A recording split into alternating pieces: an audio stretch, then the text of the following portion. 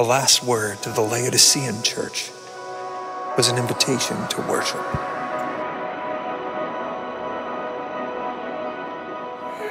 Behold, I stand at the door and knock. If anyone hears my voice and opens the door, I will come to him and eat with him, and he with me. At the Lord's table, hymns are sung, the word of God is preached, prayers are offered, and offerings are made.